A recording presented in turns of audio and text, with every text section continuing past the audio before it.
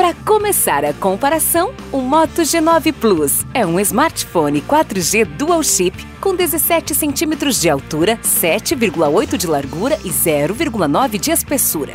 Por sua vez, o Xiaomi Redmi Note 8 também é um aparelho 4G dual chip, mas com 15,8 centímetros de altura, 7,5 de largura e 0,8 de espessura. Na parte da frente, o G9 Plus tem tela Max Vision de 6.8 polegadas Full HD Plus e câmera frontal de 16 megapixels.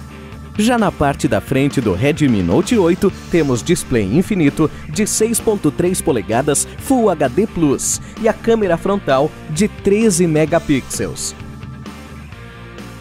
Agora, na parte traseira do G9 Plus, vem a câmera principal quádrupla de 64, 8, 2 e 2 megapixels com flash.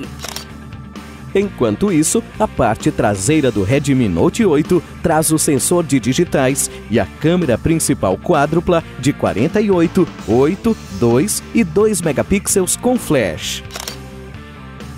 Para rodar jogos e aplicativos, o G9 Plus foi lançado com sistema Android 10 e processador octa-core junto com 4 GB de memória RAM. Já o Redmi Note 8 vem com Android 9 e processador octa-core, ligado com 3 ou 4 ou 6 GB de RAM.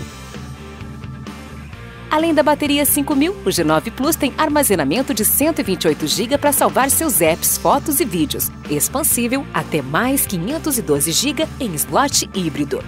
Do outro lado, o Redmi Note 8 conta com bateria 4000 e com armazenamento de 32 ou 64 ou 128 GB, expansível até mais 256 GB. Se esqueça que aqui, na descrição do vídeo, você pode acessar o link para comprar os celulares e acessórios. E para terminar, os destaques finais do G9 Plus são o sensor de digitais na lateral do aparelho, o botão Google Assistente e as câmeras com modo noturno.